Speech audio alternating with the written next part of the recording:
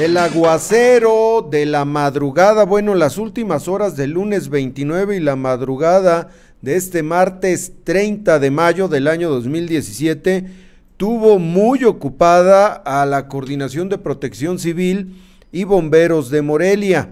Fíjese que alrededor de las 11 de la noche fue cuando empezó la lluvia en la zona norponiente de la ciudad en la salida a Quiroga. Se reportaron siete árboles caídos. El que mayor peligro representaba fue el que se desplomó en la recta del camino a Capula. Ya ve que ahí hay mucho eucalipto que de veras, qué riesgos son.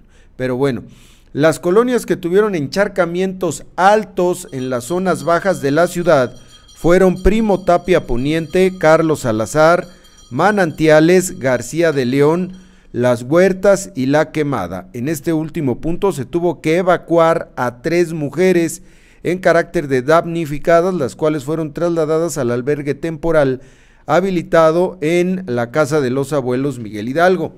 A la par se registró un talud en la avenida Guadalupe Victoria, a un costado del Colegio de Morelia, que fue atendido en las primeras horas de este martes para así restablecer la circulación. Se reportó caída de un espectacular en Avenida Pedregal, esquina con Carlos Rovirosa, mismo que fue retirado, no hubo lesionados ni accidentes vehiculares.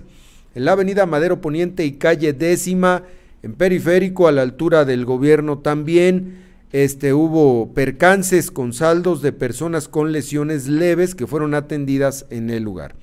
El coordinador de Protección Civil y Bomberos de Morelia, Eduardo Ramírez Canals, recordó a la población que mediante el Grupo Interinstitucional de Prevención de Inundaciones se atendieron cada uno de los llamados de la ciudadanía.